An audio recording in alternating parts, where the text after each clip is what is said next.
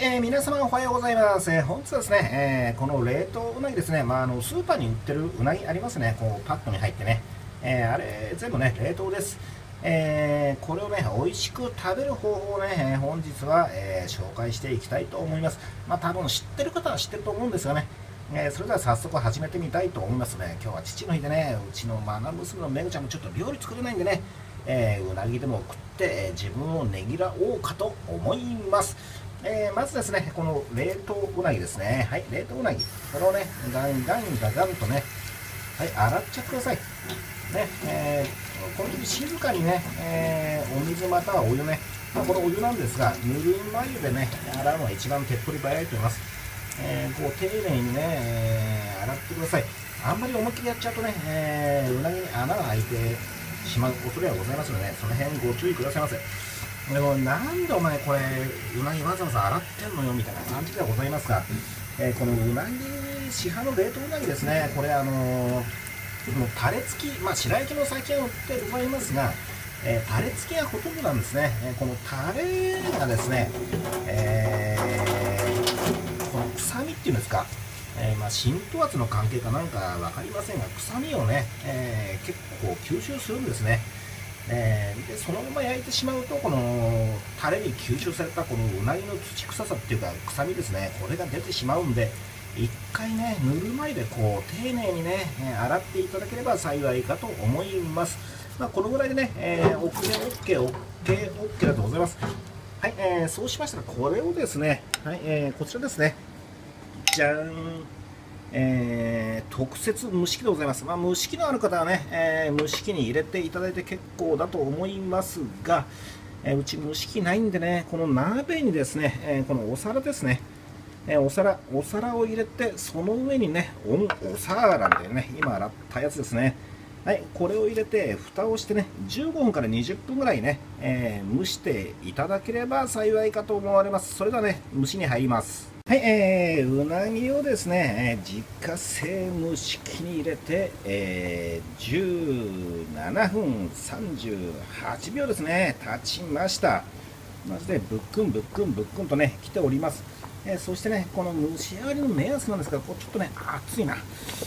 こうちょっとこう触ってね、おなんか、さっき硬かったのにすげえ柔らかくなってんじゃねえかみたいなね、えー、感じで OKOK でございます。えー、それではね、これを焼いていきたいと思います。うわ、そうです。まあ、今日は父の日っていうことでね、えー、自分をねぎらっております。うな丼作りますよ。はい、えー、ね、えー、蒸し上がったうなぎでございます。ここで、えー、もうワンポイントですね。えー、これをね、えー、ちょっと今、お皿に乗っかってるわけですが、またね、ちょっとこれ、ね、水洗いして、え余分なね、えー、水分とアクを流しちゃってください、えー、ここポイントでございます。はいそうしましたらこれ熱いからね手でやんないでくださいね、え、このアルミホイルにドッカンドッカンですね。はい、えー、こんな感じで乗っかりました。あとはね、えー、これを魚焼き器でね焼いていくだけでございます。いや、魚焼き器に、えー、豆乳、乳糖ですね。はい、えー、天下一発火をつけてみたいな感じ。えー、ちょっとご家庭ですとね、こんだけちょっと大きめのね、うなぎなんで、えー、魚焼きに入んない場合はね、えー、2分の1カットぐらいにしてください。それでも入んなければね、4分の1、5分の1をね、えー、ちっちゃくして入れて焼いていただければ幸いかと思います。えー、それではね焼いていきたいと思いますいや冷凍うなぎ美味しく食べるのもね手間暇かかりますはい、えー、うなぎの方がね、えー、魚焼きに乗っけてね、ブクブクブックンブククンとね、えー、言っているのが分かりますでしょうか。えー、ここでね、えー、タレを塗り塗りしていきたいと思います。まあね、えー、タレといってもこちらの市販のね、市販というか、うなぎについていますね、これ買うとね。えー、これをね、えー、塗っていきたいと思います。はい、それではね、タレをぬりぬりしていきます。熱いですね、熱い、熱い、熱い。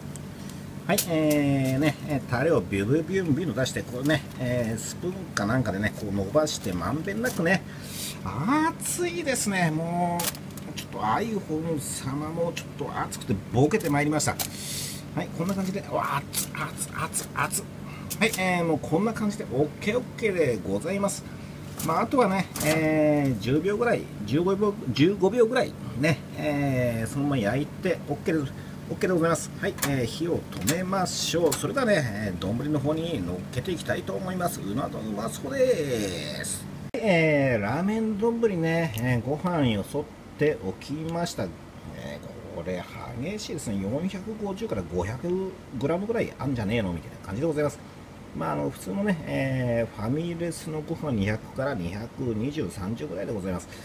その倍ぐらいですね。もう超大盛り。ねえー、そしてね、えータレこれ2つ目です2つ目のタレを、えー、ご飯の上にタレレンタレレンタレレンこうですねもしこれ足んない場合ですね3つ4つ5つ6つ7つねもう好きなだけかけてくださいえー、昔はこれタダでね、えー、うなぎにくっついていたもんでございます最近ね1つ2つぐらいしかついてないで2つぐらいついてますかね、2つぐらいしかついていないので、まあ、あとはね、あの市販のうなぎのタレっていうのを売ってますんでね、えー、それをご購入くださいませ。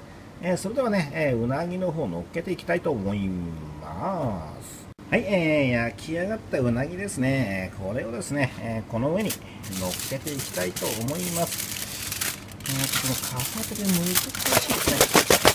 ゴンゴンゴンゴンゴンゴンゴン、おー、乗っかった乗っかった。うん、あ乗っかりました。はい、えー、尻尾ね折れちゃいました、えー、それではねいただいてみたいと思いますうまそうですね、まあ、父の日ってことで特別ですよ今日ははい、えー、テーブルの方にですね、えー、うな丼ですね、運んでまいりました。もううなぎといえばね、山椒丼、山椒パラパラパラですね。はい、えー、そして私流の食べ方はですね、山椒プラス一味唐辛子、パッコンパッコンパラランロンとね、フリフリフリンコフリリンパでお願いいたします。はい、えー、それではね、いただいてみたいと思います。いただきます。うん。いや、もう柔らかい、柔らかい、柔らかい。もうさすがにね、15分蒸しただけのことはございます。いただきます。うん。うん、うん。やっぱ冷凍なんやな。こんだけ美味しくいただける方法、うん、これはねもう本当最高でございます。いただきます。うん。うん。うん。うん。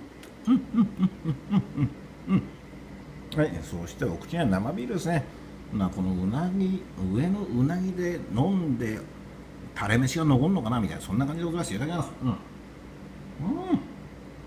うん。最高最高最高ではございますか。